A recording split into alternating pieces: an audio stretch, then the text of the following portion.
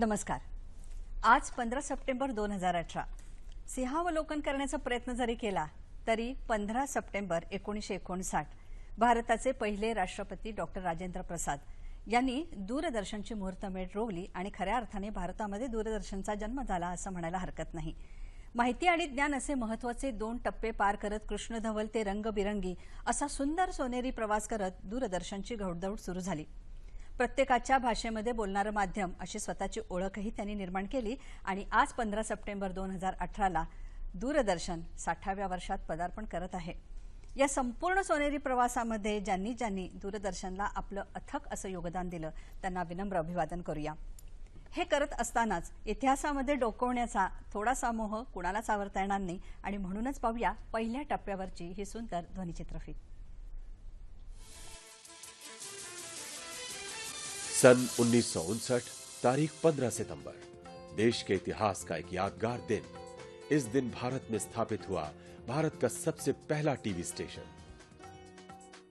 उद्घाटन हुआ भारत के तत्कालीन राष्ट्रपति डॉक्टर राजेंद्र प्रसाद के हाथों। छोटा पर्दा शास्त्रीय नृत्य की ताल पर थिरक उठा। दूरदर्शन के प्राथमिक दर्शक थे दिल्ली के 21 टेली क्लब के सदस्य। इन कार्यक्रमों का विषय था सामुदायिक विकास और शिक्षा। और कॉरपोरेशन के पास इसकी सफ़ाई के लिए कुल पाँच हज़ार ऐसी हालत में एक साधारण सी शुरुआत लेकिन इसके बाद छह वर्षों के भीतर ही दिल्ली के आकाशवाणी भवन से शुरू हो गया टेलीविज़न का दैनिक प्रसारण। वर्ष 1965 अब तक सिर्फ़ सुनाई दिए जाने वाले समाचार को सीधा सामने देखने का अविस्मरणीय वर्ष। और दूरदर्शन की पहली समाचार वाचिका प्रतिमा पुरी। दिल्ली और आसपास रहने वाले लोगों के घर आँगन में आई मनोरंजन की बहार, संगीत की फुहार।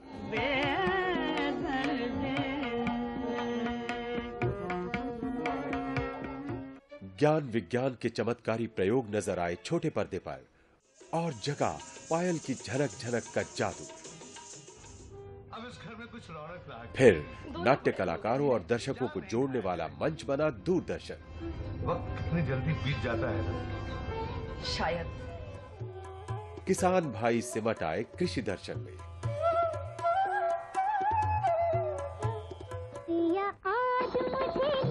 सत्तरवे दशक में फ़िल्म संगीत को भारतीय दर्शकों के घर तक ले आया दूरदर्शन। कार्यक्रम चित्रहार। दूरदर्शनच्या एकोणसाठ वर्षांच्या सोनेरी प्रवासामध्ये आपल्या कार्यकर्तृत्वाचं विशेष योगदान देणाऱ्या चार महत्त्वाच्या व्यक्ती आज आपण इथे आमंत्रित केलेल्या आहेत. त्यातील पहिले आहेत दूरदर्शनचे माजी संचालक डॉक्टर याकूब सईद. नमस्कार. याकूब सईद यांनी नुकतीच भारतीय चित्रपटामध्ये उर्दू भाषेचं योगदान या विषयावर डॉक्टरेटही केलेली आहेत. त्यानंतरच्या आपल्या ज्या पाहुण्या आहेत त्यांची विशेष ओळख अशी आहे की अगदी सुरुवातीला निवेदिका ते निर्माती असा सुंदर प्रवास त्यांनी इथेच साजरा केलेला आहे. त्या आहेत आमच्या कांचन अधिकारी. नमस्ते कांचन ताई. नमस्कार. तसंच दूरदर्शनचे माजी उपसंचालक चंद्रकांत बर्वे. बर्वे साहेब नमस्कार. सह्याद्री वाहिनीचा चेहरा मोहरा बदलवून ज्यांनी अगदी टेक्नॉलॉजीला सुद्धा जवळ करून दर्शकांच्या घरामध्ये दूरदर्शनचा पडदा नेण्याचं काम केलं ते आमचे माजी अतिरिक्त महासंचालक दूरदर्शन मुकेश शर्मा सर. नमस्ते जी. नमस्ते. याकूबजी ब्लॅक अँड व्हाईटपासून ते रंगबिरंगी असा हा सुंदर दुवा तुम्ही आहात कारण तुम्ही स्वतः उत्तम अभिनेते पण होतात आणि अनेक चांगले चांगले कार्यक्रम पण तुम्ही दिलेत. आता आपण साठीमध्ये प्रवेश करतोय तुम्हाला काय वाटतंय? Black and white to colour fifty नाईनच्या पूर्वी दिल्लीला एक मोठं प्रदर्शन भरलं होतं. ऑक्टोबरचे सण बाहेरचे सगळे प्रदेशातचे लोक आले होते. एका कंपनीने मी नाव घेत नाही एका कंपनीने एक दूरदर्शनचा सेट लावला. समोर कास होती. लोक पाहत होते काय हे कसला पडदा दिसतोय? आणि त्याच्यासमोर त्यांनी कॅमेरा ठेवला होता. त्याने मग त्या कॅमेरा ऑन केला. आज कॅमेरा ऑन केल्यानंतर जे लोक ते दूरदर्शन संच पाहत होते त्यांचे चेहरे दिसायला लागले. हात छोटासा त्यांनी ट्रान्समिटर ठेवला होता आणि त्यामुळे जे लोक समोर येते त्यांचे चेहरे समोर दिसत होते. तो लोक एकदम खुश झाले. आणि सगळी गर्दी त्या दूरदर्शनच्या संचासमोर उभी राहिली. त्यानंतर तो प्रदर्शन संपला. त्या कंपनीने काय केलं? त्यांना वाटलं अरे भारतात हे चालण्यासारखं आहे. तो सगळा संच म्हणजे ते दूधच्या कॅमेरा लहानसं जे ट्रान्समिटर त्यांनी भारत सरकारला फ्री ऑफ चार्ज गिफ्ट केलं. आता गिफ्ट दिल्याने त्याचं काय करायचं? मग एक लहानसं ऑफिस होतं आकाशवाणीचं. त्या आकाशवाणी त्यांनी एक दोन वरती लाइट लावल्या. समोर टेबल ठेवले समोर कॅमेरा ठेवलं आणि त्यांनी तिथं प्रोग्राम सुरू केला. ती तारीख होती पंधरा सप्टेंबर नाईन्टीन फिफ्टी नाईन आता काय कार्यक्रम करायचे? तर रोज तर काय होता येत नाही. बरं द दिल्लीला काय लोकांच्याकडे टेलिव्हिजनचे संच नव्हते काहीच नव्हतं ना. काय कोण चार पाच असतील. त्या कंपनीने काय केलं? आपले संच विकले विकायला सुरुवात केली. ती कंपनी ते संच तयारच करत होती. आणि मग काय करायचं काय? रोज तर काय कार्यक्रम करता येईल? म्हणून सप्ताहातून दोन किंवा तीन दिवस एक एक तास किंवा दोन तास ते कार्यक्रम दाखवायचे. काय दाखवायचं? तर काय शाळे कार्यक्रम काहीतरी दुसरं. किंवा मग नंतर त्यांनी अं, शेतीविषयक कार्यक्रम दाखवायला सुरुवात केली. ही त्याची सुरुवात होती. हो आपण एक छानपैकी एव्ही आपण बघितलेली है कि शुरुआतीचा काळ कसा होता. शर्मा सर अभी अभी मुझे पता चला कि आप पहले एक्टर बनने यहाँ आए थे. हमने अभी एक छोटा एवी बनाते समय देखा. आप एक्टिंग कर रहे थे. तो एक्टर और अतिरिक्त महासंचालक। ओ माय गॉड इतना ही हम कह सकते हैं। हाँ ये काफ़ी लंबा सफ़र हाँ? था। बिकॉज़ मुझे याद है मैं जब यहाँ पर एट्टी सेवन क्या था तब मैं चिल्ड्रन फ़िल्म सोसाइटी में था हाँ। जैसा मैंने कहा फ़िल्में बना रहा था। तो यहाँ पर एक वीरेन शर्मा करके डायरेक्टर थे। उस वक्त वो लोग ढूंढ रहे थे किसी एक्टर के लिए तो किसी ने मेरा नाम सजेस्ट कर दिया कि एक नया लड़का लखनऊ से आया है। तो वो रोल शायद ओमपुरी करने वाले थे। प्ले का नाम था कथा जो बन गई व्यथा कथा कुठाची व्यथा कुणाची दैट वाज द नेम तो मैंने पुलिस इंस्पेक्टर का उसमें रोल किया था। तो मैं रिहर्सल करने आता था मुझे याद है और उसी वक्त यहाँ पर ततारी साहब जो थे अब्दुल सत्तार ततारी वो डायरेक्टर होके आए थे और मैं लखनऊ से उन्हें जानता था। तो बड़ी इच्छा थी मैं तेज़ी से भागा भागा उनसे मिलने के लिए गया। अब जैसा होता है आप तेज़ी से जा रहे हैं और वहाँ पर एक जब शिव के मंदिर में जाते हैं एक नंदी होता है वो नंदी रोक लेता है आपको अंदर जाने में। तो यहाँ पर एक रामू जी थे उन्होंने मुझे रोक लिया। रामू जो पिए थे उनके जो हमारे साथ रहे रामू ने बहुत कंट्रीब्यूट भी किया है बट वो मुझे किस्सा इसलिए याद रहा कि रामू ने मुझे वहाँ बैठा लिया बोले सर इज़ वेरी बिज़ी तो मैंने कहा यार मैं जानता हूँ उनको दो मिनट जाने तो no sir is very busy I said यार वो करते करते उन्होंने करीब बीस पच्चीस मिनट बैठा दिए जब मैं बाहर निकलने लगा तो जो साइड का दरवाज़ा था मैंने खोला और अंदर देखा सामने ततारी साहब थे। उन्होंने कहा अरे मुकेश मैंने कहा सर आप अरे तो, अरे मैंने कहा उसने तो अंदर ही नहीं आने दिया। अरे छोड़ो वो तो नंदी है। मैंने कहा मुझे लगा। खैर मैं बैठ गया थोड़ा समय निकला उसके बाद कैलेंडर के पन्ने पलटी है 2000 आया। ये बात है 80s के बाद। जब 2000 आया तो वही रामू वही कमरा और अब मैं डायरेक्टर हो गया था। और हम हम रामू को नंदी बनाते थे। लेकिन कहानी वहाँ खत्म नहीं मैंने रामू को बुलाया मैंने रामू जी जरा एक अंदर आई है पहचाना मुझे एक साथ। मैंने कहा मैं ऐसे ऐसे आया था अच्छा मैंने कहा जाने दो सुनो मैं अवेलेबल हूँ कोई प्रॉब्लम नहीं है तीन बजे से सात बजे की पट्टी निकाल के बाहर फेंको जिसको आना हो आने दो यहाँ पर। अब हम लोग थोड़ा सा डिफरेंट तरीके से काम करेंगे क्योंकि ये जगह ही यहाँ पर मस्ती करने की है। Yes, तो जब तक मस्ती नहीं होगी पैशन नहीं होगा तो काम कैसे होगा? एंड आई थिंक वो ह्यूमन एंगल जो हमने डाला 2000 में और लोगों को इन्वॉल्व किया वर्क कल्चर यहाँ का इन्वॉल्व किया यहाँ के लोग इन्वॉल्व हुए एंड रेस्ट इज हिस्ट्री वो पांच सालों में सह्याद्री को जो प्रतिसाद मिला लोगों का और जो पब्लिक सर्विस ब्रॉडकास्टिंग का काम हुआ जो होना था स्पेशली विद चैनल्स एक दूसरे से हमारे से लड़ाई झगड़ा चल रहा था। But I think we made our own place या कांचनताई मला तुझं पण खूप खूप कौतुक आहे की अगदी निवेदिका ते निर्माती असा एक सुंदर प्रवास तू केलास. तू आलीस त्यावेळचं वातावरण कसं होतं आणि तू कशी आलीस? मी इथे आले ना त्याचा एक अतिशय गोड किस्सा आहे खरं तर. तेव्हा मी मला व्यावसायिक नाटकामध्ये स्टेट कॉम्पिटिशनचं बेस्ट ॲक्ट्रेसचं अवॉर्ड मिळालं होतं. आणि त्यामुळे मला पहिलं व्यावसायिक नाटक मिळालं ते म्हणजे पळा पळा कोण पुढे पळेतो. पळा पळा कोण पुढे पळेतो मधली टीम इतकी काही सुंदर होती की नेहमी माझं नशीब समजते. भक्ती बर्वे दिलीप प्रभावळकर आत्माराम भेंडेंचं बायनार आणि आत्माराम भेंडे स्वतः होते. सो आमच्या अशा एकंदरीत गप्पा चालायच्या हे चालायच्या आणि भक्तीताईचं माझ्यावरती विशेष प्रेम होतं. आणि भक्तीताई नेहमी म्हणायची आम्ही दोघी वरण भात कारण की बर्वे आणि गारपुरे.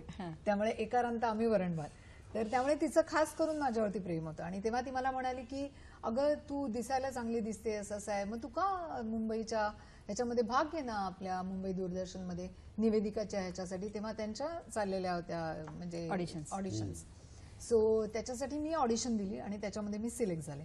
सो मी जे सिलेक्ट झाले ते सगळं श्रेय आहे ते भक्तीताईला आहे मी बर्वे सरांकडे येते. आकाशवाणी ते दूरदर्शन असा एक वेगळाच प्रवास करत तुम्ही आलात.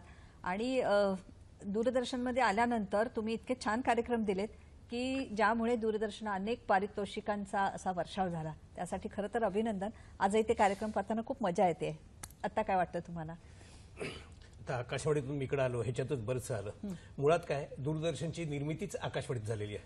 म्हणजे एकोणीसशे एकोणसाठ साली ब्रॉडकास्टिंग हाऊसमध्येच एका खोलीत दूरदर्शनचं ऑफिस होतं.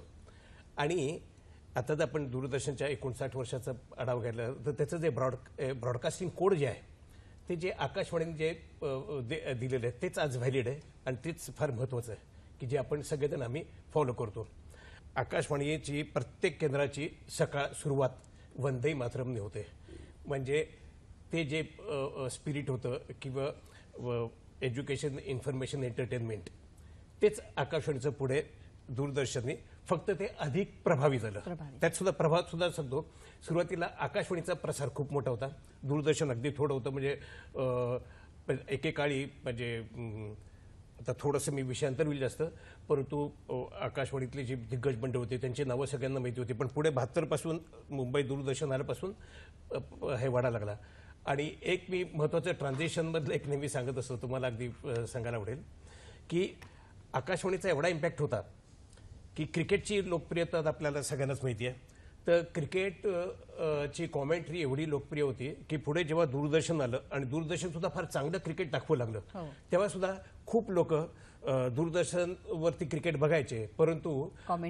रेडिओची कॉमेंट्री ऐकायची. आणि अशी एकोणीसशे त्र्याऐंशीला आपण जेव्हा वर्ल्ड कप जिंकला बरोबर बरोबर. तो खूप जणांनी असं पाहिल्याचं आठवत असेल तुम्हाला. हो, आता खरंच एक चीज के लिए मैं करूंगा इनसे जो मुझे लगता है याकूब जी आप भी एग्री करें नहीं करेंगे दूरदर्शन का जब तक आकाशवाणी का प्रभाव रहा क्योंकि मैं फ़िल्म से आया था सिनेमा से तो विजुअल मीडियम का मुझे थोड़ा सा एक्स्ट्रा ज्ञान था बशर्ते जो रेडियो से आए थे।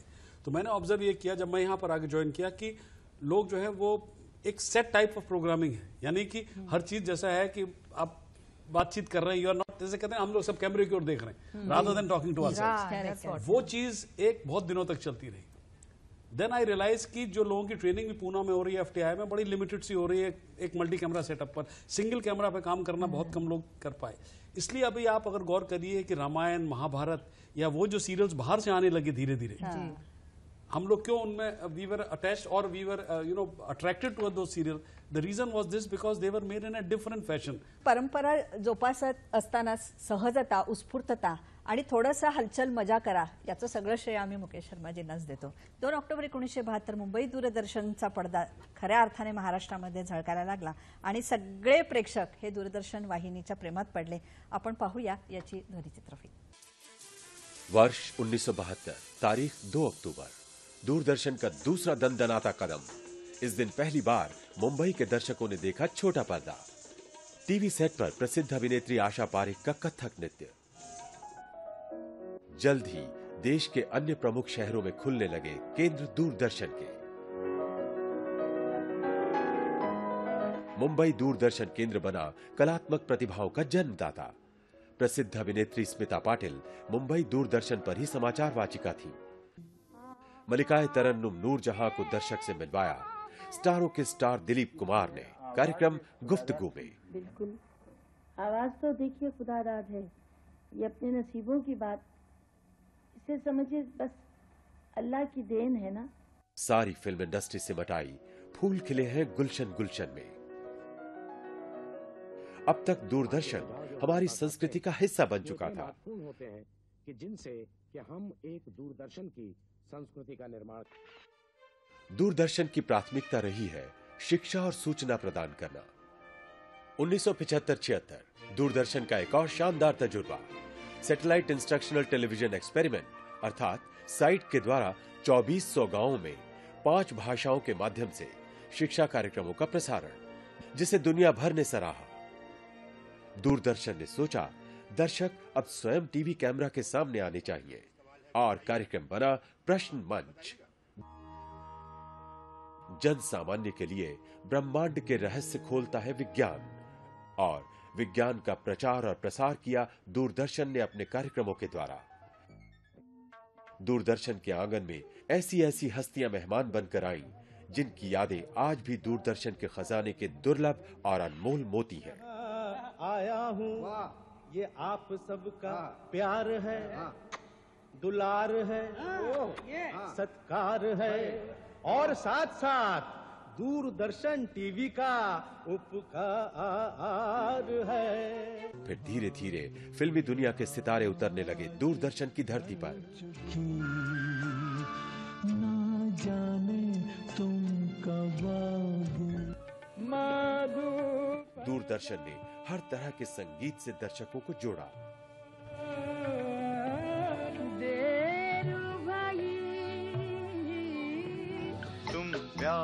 कर सको मुझसे। मेरे सोना रे सोना रे सोना रे दे दूँगी जान जुदा मत होना रे सोना जो भड़के दिल मेरा धड़के दर्द जवानी का सताए बढ़ बढ़ के सोना जो भड़के। किती मस्त वाटतंय ना सगळे कृष्ण धवल सगळे कार्यक्रम पाहिल्यानंतर. मुकेश जी हमने अभी आशा ताई को सुना देखा और ब्लैक एंड व्हाइट में देखा और आपकी कारकिर्दी में वो रंग बिरंगी हमारे हेलो सखी में भी आई थी। इसका ये जो बीच का जो झूलता हुआ झूला है उसके बारे में बोलिए। नहीं देखिए जब 2000 में चैनल मोरलेस हमने डीडी डीडी टेन से डीडी सह्याद्री कर दिया था तो- और उस वक्त जैसा मैंने आपसे कहा कि we tried to work with the work work culture here हमने उसमें जिसे आप लोग बोलते हैं ना एडमिनिस्ट्रेटिव चीज़ों को बिल्कुल पीछे कर दिया कि एडमिनिस्ट्रेटिव सिर्फ़ सपोर्ट मिले लोगों की। बाकी आर्टिस्ट आए यहाँ आए तो खुल का दौर का। इवन सिक्योरिटी तक में मैंने उस वक्त गौर किया था मुझे याद है आई इंश्योर दैट कि कोई भी रुकना नहीं चाहिए किसी के साथ। So that let everyone feel they are coming home Verna अक्सर ये रहता है टिपिकल गवर्नमेंट ऑर्गेनाइजेशन में आप जाते हैं I think that paid dividends उससे बहुत फ़र्क पड़ा। तो आशा ताई से हमने मुझे याद है आज से 16 साल पहले हमने उनका बर्थडे मनाया था स्टूडियो में। इसी स्टूडियो में बुला करके केक काटा था आशा जी आई थी थोड़ा लाइव कंपोनेंट तो पूरा गया बाकी शूट किया उसको फिर लाइव के साथ मिलाया। So what lot of experiments हुए किए और आशा जी बड़ा अच्छा लिख के गई थी उसने मेरे पास अभी वो शायद कहीं लिखा हुआ है कि बहुत दिनों के बाद दूरदर्शन आई हूँ बहुत बदल गया है। कारण लगता है कि ये जवान स्टेशन डायरेक्टर यहाँ आ गया है। So I said Asha ji आपने मेरा दिल बना दिया made my day but that's how it is in fact Maine Facebook में भी डाला था। But at the end of the day I was only doing जिसे कहते हैं ना पत्थर मेरे हाथ से तैर रहा था। बट आपने कितना काम KIA Kanchan? How can I forget. आपके सीरियल थे याकूब जी को जब हमने बुलाया चाहे in fact he also help me. ये भी थे थोड़े समय तक हमारे साथ before he retired so it it was a golden era for Sahyadri person DD K Mumbai after eighties से पहले के बाद बीच में जो गैप रहा। And we could do something here Yakub जे कार्यक्रम तुम्ही तेव्हा करायचात पण इतकं काही टीआरपी वगैरे असं काही नव्हतं कारण एकच वाहिनी होती. पण तरी सुद्धा आपले कार्यक्रम लोकांना आवडतात की नाही आवडतात तुम्हाला कसं कळायचं? कसं काढायचं मी सांगतो. माझा कार्यक्रम रविवारी होत असे. हो. सकाळी नऊ ते साडेनऊ साडेआठ ते नऊ. आणि नऊ ते साडेनऊ मी रस्त्यावर गेलो तर कोणी भेटायचं सगळा सामसूम सगळं. सगळे लोक टीव्हीवर बसलेले. एक दिवस काय झालं मी माझी मिसेस एका कुठल्या तरी दुकानात आम्ही गेलो होतो. आणि साडेनऊचे एक दोन तीन मिनटं जा झाली होती आणि एक मोठी गाडी येऊन उभी राहिली. त्याच्यात खूप तरुण तरुण मुली उतरल्या. आणि त्याने मला पाहिलं अ याकूब शेख आत्ताच कारण साडेनऊला प्रोग्राम संपला आणि हे नऊ पस्तीसची गोष्ट आहे. ते सगळे धावत आले आणि मला एकदम मिठी मारली. माझी बायको माझ्या शेजारी उभी होती. ती पाहत होती. मी तर काय काळजी करू नको? हे सगळे दोन तीन मिनिटाचाच कार्यक्रम हे सगळे जातील नंतर तू माझी मी तुझा. असं होतं. ते फार महत्त्वाचा अ, मुद्दा असा की त्यावेळेला त्यावेळेचे जे कार्यक्रम होते ते लोक पाहत असत. मी मराठी नाटकं करायचो. ते बुधवारी व्हायचे.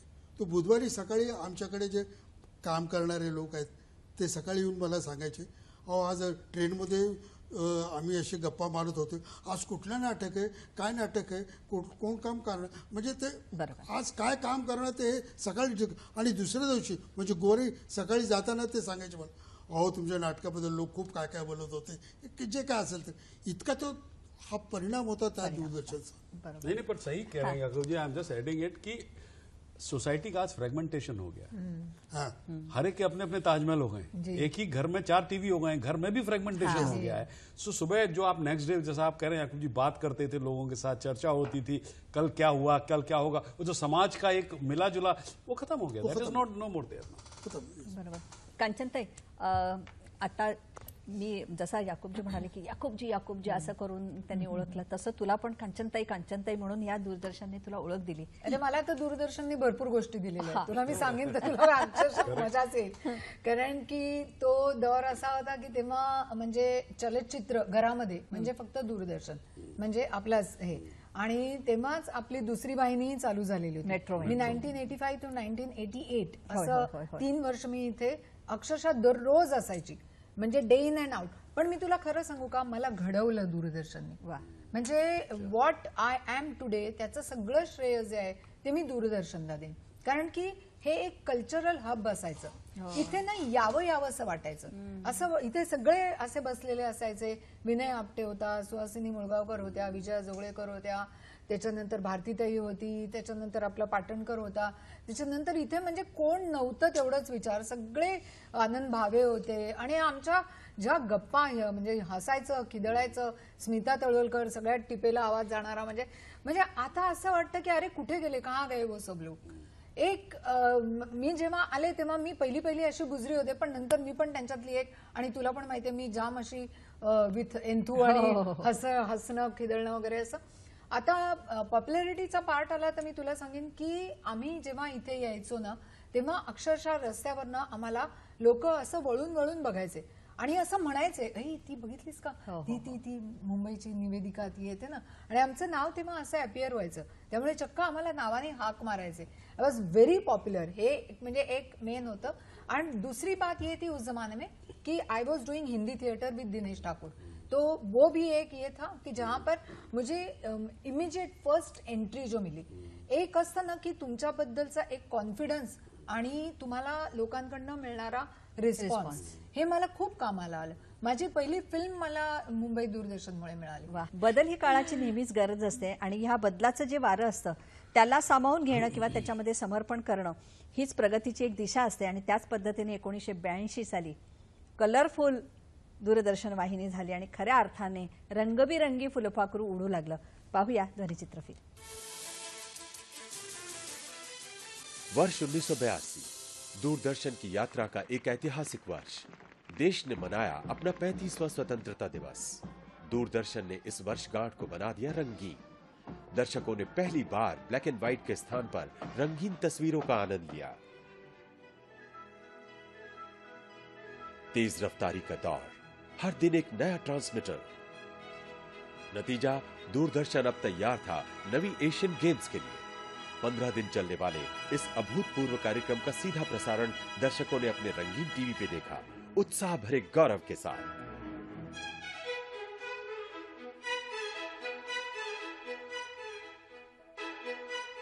अस्सी के दशक में ही दूरदर्शन ने फिर दिखाया एक कमाल। दिल्ली से माइक्रोवेव लिंक द्वारा देश भर के लिए एक साथ राष्ट्रीय कार्यक्रम का प्रसारण। टीवी धारावाहिक और इसके कलाकारों की लोकप्रियता की शुरुआत दूरदर्शन ने ही की। वर्ष था उन्नीस सौ चौरासी। धारावाहिक का नाम हम लोग। एक सौ छप्पन हफ्तों तक लगातार इसे देखते रहे हम लोग। तो दूरदर्शन का एक और मील का पत्थर। भारत और रूस के सम्मिलित प्रयासों से अंतरिक्ष में जा पहुँचे भारतीय स्क्वाड्रन लीडर राकेश शर्मा और इन बेमिसाल लम्हों को दर्शकों तक पहुँचाया दूरदर्शन ने। ऊपर से भारत कैसा दिखता है आपको? जी मैं बगैर किसी झिझक के कह सकता हूँ कि सारे जहाँ से अच्छा। याच इथे एकदम ब्लॅक अँड व्हाईट आणि पुन्हा छान रंगबिरंगी असं पाहायला मिळालंय. खूप मला छान वाटतंय.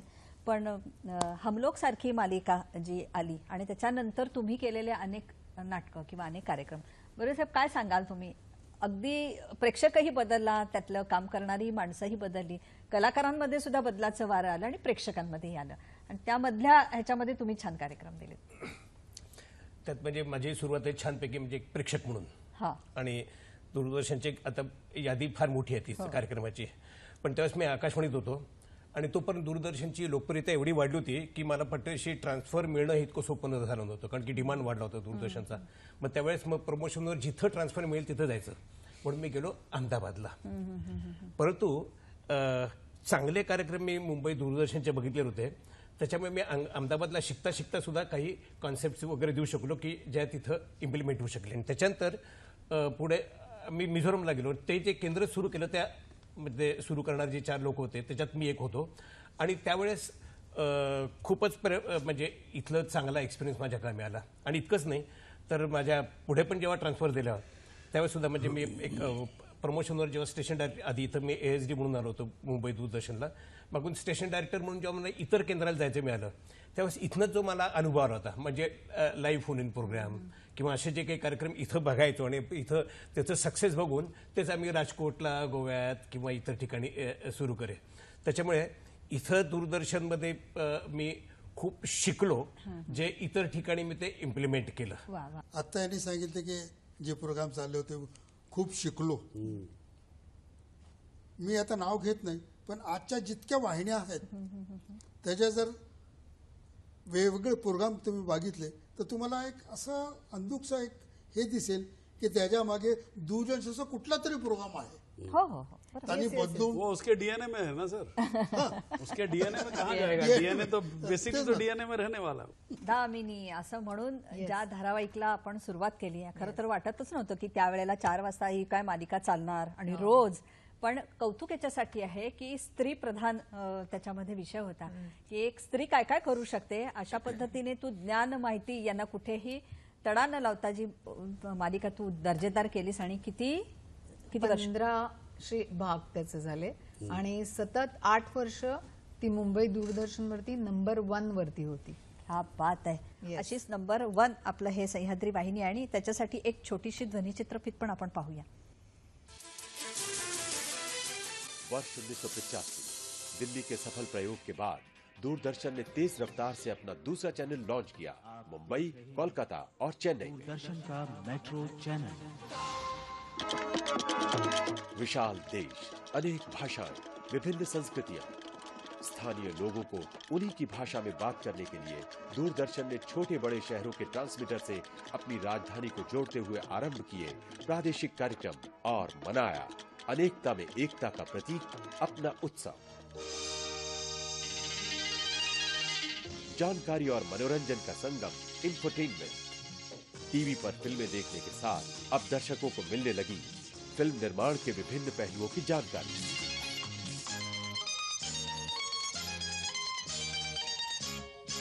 जब आप फ़िल्म देखते हैं तो उसमें जो एक्टिंग होती है, उसमें जो डायलॉग्स होते हैं, उसमें जो स्टोरी होती है, वो आप पर असर करती है। पिताजी शहर में आगजनी हो रही है। दूरदर्शन के मनोरंजक इतिहास का एक रोमांचक मोड़। वर्ष 1986 के अंत में दूरदर्शन ने पेश किया विभाजन के दर्द को उभारता। निर्माता निर्देशक रमेश सिप्पी का यादगार धारावाहिक बुनियाद मनोरंजन के साथ दूरदर्शन। जनसेवा प्रसारण का भी इकलौता माध्यम है। समाज के उपेक्षित और पीड़ित वर्ग का दर्द समझने का एक मानवीय प्रयास। ये लड़कियाँ कहाँ से आई? हैं ये हर हर मुल्क अलग अलग मुल्क से आती है। इडियट बॉक्स कहलाने वाले टीवी ने विभिन्न भाषाओं की प्रसिद्ध साहित्यिक रचनाओं का प्रभावी ढंग से प्रस्तुतिकरण करके अपनी ज़िम्मेदारी का सबूत दिया। जैसे सूरज लेकर आए पर यहाँ तो कोई राह भी नहीं दिखती। दुनिया में कभी कोई राह न थी रोहिणी।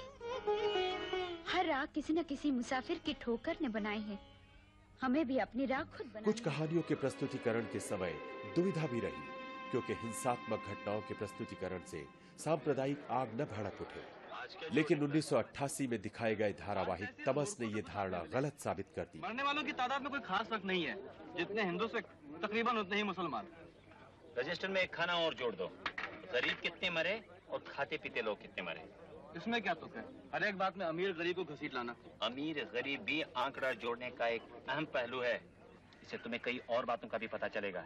कौन सी? यही कि ऐसे दंगों में हमेशा सबसे ज़्यादा गरीब लोग ही मारे जाते हैं। छोटे पर्दे पर कई खास पात्रों ने दर्शकों को अपने अंदाज से मोहित कर लिया।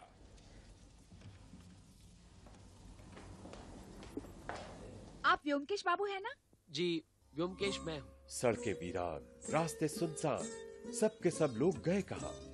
दूरदर्शन पर रामानंद सागर निर्मित धारावाहिक रामायण का समय जो हो गया था। दो महान पौराणिक ग्रंथों रामायण और महाभारत प्रस्तुतिकरण के द्वारा दूरदर्शन ने देश भर के दर्शकों को एक साथ ला बिठाया ग्लानिर्भवति भारत अभ्युत्थानम अधर्मस्य तदात्मानं सृजाम्यहम्। पाहता पाहता दूरदर्शन आता साठाव्या वर्षात पदार्पण करत आहे. याकूबजी आत्ताचा काळ परत वेगळा आहे. दूरदर्शन थोडं दर्शकांपासून दूर गेलंय किंवा दर्शक दूरदर्शनपासून दूर गेलेत असं तुम्हाला वाटतंय का? आणि पुन्हा हे सगळे सोनेरी दिवस आणायचे असतील तर काय करायला पाहिजे सांगा? दूर नाही गेले फार जवळ आलेत. बर. मला तर वाटतं की दूरदर्शनचं नाव बदलायला पाहिजे. जवळ दर्शन करायला पाहिजे. पूर्वी असेल दूरदर्शन तसं नाही झालेलं. कांचनताई तुला काय वाटतं? कारण तू तर आता सर्वत्र संचार आहे. तुझं स्वतःचं चॅनल आहे. तू आमच्याकडे सुरुवात करून इतका मोठा प्रवास केलेला आहेस. तर तुला काय वाटतंय? बाहेरचं सगळं तू पाहतेयस आता. मला सत्य परिस्थिती बोलायला आवडेल. अं, सुरुवात जरूर दूरदर्शनने झालेली होती. रोपटं जरूर बीज इथं पेरलं गेलेलं होतं. परंतु म्हणतात तसं की पारिजातकाची फुलं मात्र आता दुसरीकडे पडायला. आणि ते ते कुठेतरी दुःख वाटतं. कारण की मी इथेपासून सुरुवात केली मी इथंपासून पाहिलं. परंतु आता तेच कॉन्सेप्ट त्याच गोष्टी. मूळ कथा अगं त्याच असतात. वन टू थ्री फोरच असतं ते. ते वन टू थ्री फोरमध्ये तुम्ही कशा काय फिरवता आणि तुम्ही त्याला कसं एक रूप देता? आपल्या इथे लॅकिंग कशाचं पडत होतं? तर ह्यांच्यावरती बरेचसे निर्बंध होते. आणि मी त्या निर्बंधांना दोष देईन. कारण की आज जर मुकेशजींसारखा एक व्हिज्युअलायझर होता इथे की ज्याच्या मनामध्ये उर्मी होती ज्याच्या अंगामध्ये असं रग होती एक ईर्षा होती की चला आपण काहीतरी करून दाखवूया. काहीतरी नाविन्याची एक ध्यास होती. परंतु ते करण्यासाठी जेव्हा त्यांनी काही करायला लागायचं की त्यांना दहा हजार परमिशन्स घ्याव्या लागायच्या. आणि तिथेच कुठेतरी तुमचे पाय कापले गेले. जिथे मुंबई दूरदर्शनचे पाय कापले गेले ते तिथे कापले गेले. वाईलाच ऍट द सेम टाइम बाहेर तुम्हाला वेगवेगळ्या वाहिन्या उघडत होत्या. त्याच्यावरती तुम्हाला तेच विषय ते लोक न्याहाळत होते. परंतु त्याच्यासाठी त्यांना आसमान से लेकर पाताल तक आप कहीं भी कॅमेरा लेके जाओ. आप कैसे भी हे करू. आज तुम्हाला म्हणजे लोकांच्या आज सिरियल मधनं बिंदी वगैरे पण पॉप्युलर होतात.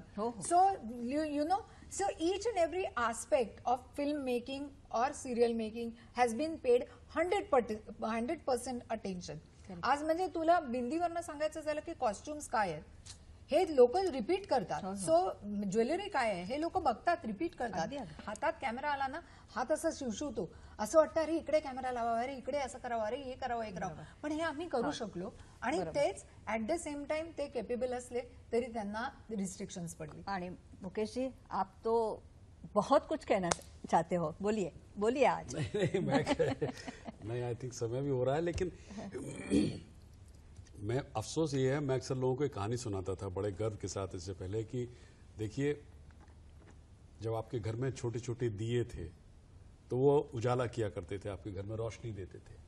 फिर एक दिन इलेक्ट्रिसिटी आ गई तो उन दियों को उठा के आपने फेंक दिया। दूरदर्शन की भी यही हालत हुई।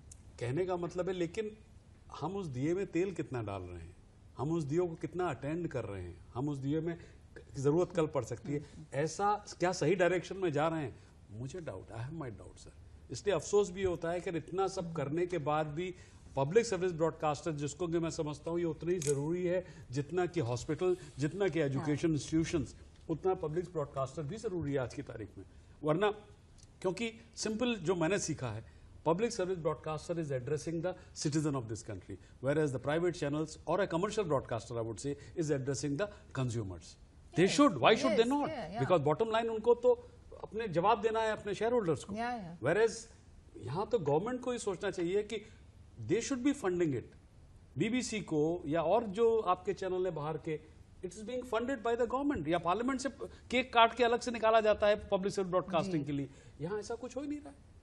क्यों नहीं हो रहा क्या नहीं हो रहा ये किस्सा हर बार हम डिस्कस करते हैं मगर समाओ इतना बड़ा सेटअप इतने बड़े बड़े स्टूडियोज उस दिन मैं आजकल I don't know if you are aware I am now switched over to academics आजकल मैं पढ़ाता हूँ बच्चों को तो मैं अपने बच्चों को लेके यहाँ आया था पोस्ट ग्रेजुएट बच्चे थे जो फिल्म्स का कर रहे हैं and they were astonish to see such huge studios and building and things some how people are sitting at the top they should know what is to be fed here जैसे मैंने कहा जब मैं यहाँ आया था तो मैंने कहा यार सब बंद कर दो मस्ती करेंगे। मस्ती से ही प्रोग्राम बनेंगे मस्ती में ही काम होना है। यहाँ पर बैठ करके ये डूज ऑन डोंट्स में जाओगे तो it will not work and I think it it it it has at least it help me when I was there now it is not इतक्या कळकळीने तुम्ही मुकेशजी बोलतायत बर्वे सर आता सती आहे. कुठेतरी हा सगळ्या गोंधळामध्ये स्वतःतल्या मधला कलाकार कुठेतरी मागे पडतो मरतो असं वाटतं तुम्हाला? आता माझं जे उत्तर आहे हे. मी आता जसं या दोघांच्या मध्ये बसलोय तसं माझं उत्तर सुद्धा एक्झॅक्टली मध्येच आहे. म्हणजे एक्झॅक्टली आपण असं म्हणू शकत नाही की बुवा आम्हाला परवानगी कारण की परवानगीशिवाय तुम्हाला फंड्स कोण देणार? आता प्रायव्हेटमध्ये काय आहे? त्यांच्याकडे जो जसा स्वतःची म्हणजे उत्तरदायित्व एकाकडे आहे. इथं आपण सरकारी फंड्स वापरत असल्यामुळे जर त्याचा मिसयूज झाला का किंवा ते चांगले वापरले गेले की नाही ह्याच्यासाठी उत्तरदायित्व वेगळं आहे. पण आता काय कॉम्पिटिशन आलेली आहे. परंतु त्यात सुद्धा मी सांगतो म्हणजे ब- जसं कॉम्पिटिशनमुळे दूरदर्शनलाच दहा दहा चॅनल्स आहेत त्याच्यामुळे इनफॅक्ट थोडंसं आता आता आम्हाला दूरदर्शनला फायदा असतो असं मला वाटतं. कारण असं की जे प्रायव्हेट चॅनल्स आहेत ना ते पूर्वी कसं होतं दूरदर्शनला एक दोन चौघांची कॉम्पिटिशन होते. आता शंभर जणांची कॉम्पिटिशन आहे त्यामुळे ते शंभर जणांची एकमेकाशी सुद्धा कॉम्पिटिशन आहे. त्याच्यामुळे त्यांच्यात सुद्धा एक डिवाइड झालेलं आहे काही हं. तर तसं तर अजून काही जो बेसिक जो दूर म्हणजे आता उदाहरणे बातम्या आपण मी सगळ्याच चॅनलच्या बघतो. आता दूरदर्शनची मोनोपोली नाही राहिली पण जर माझ्याकडे कमी वेळ असेल आणि मोजक्यात मला ऑथेंटिक बातम्या बघायची असेल तर अजूनही मी दूरदर्शन बघतो. पारदर्शकता. खरंच जुनी एक म्हण आहे ओल्ड इज गोल्ड जुनं ते सोनं. पण थोडंसं सोन्याला लकाकी देण्यासाठी नव्या प्रतिभेच्या शोधात आपण राहिलं पाहिजे.